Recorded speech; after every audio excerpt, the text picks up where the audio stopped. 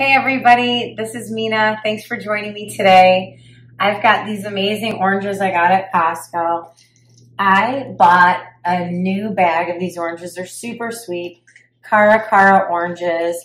To me, it's like a blood orange, a ruby red orange. And I have these four older oranges in my fruit drawer. But if I go to eat one, I want to eat one of the fresh ones I got.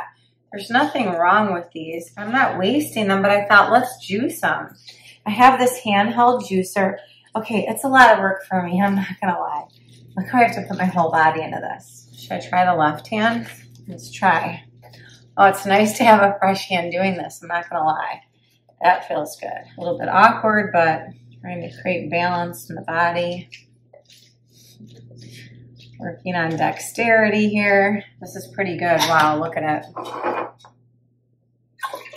Yum. I brought a new bag of mandarin oranges. These are kind of like on the softer side. If I want to have a mandarin orange, I'm going to peel one of the new ones. You know, I've made freshly squeezed mandarin juice, clementines, whatever I have for my kids. They'll be like, this juice is the best ever. What is it? So it's like, I'm so happy to not waste these oranges. And I'll just add about a half a lime to each of these glasses. Is it my husband's lucky day?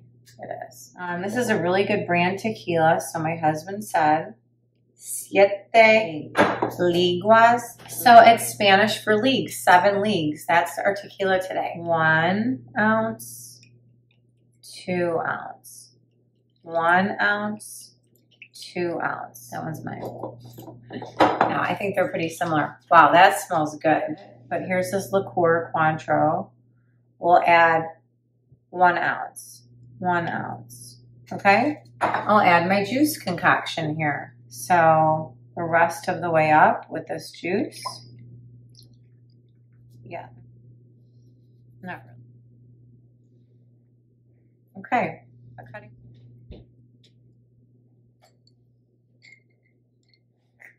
Miguel,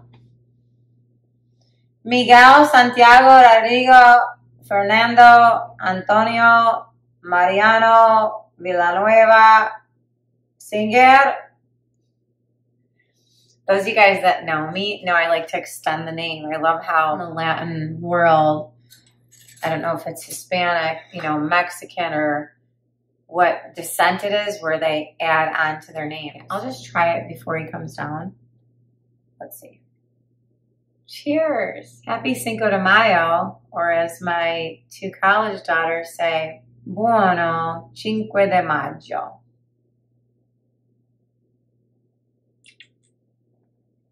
Italian style. Oh my gosh. What have we done? What have we done? We've created a masterpiece. That's what we've done. This is amazing. Oh my gosh. I can't with myself right now because this is amazing.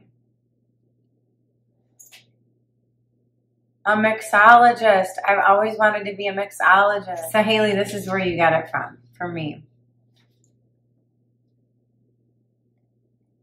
Jack of all trades, master of none. Why not just do it all? Just have fun. Do this, do this, do this, do this. Do it all. Love it all.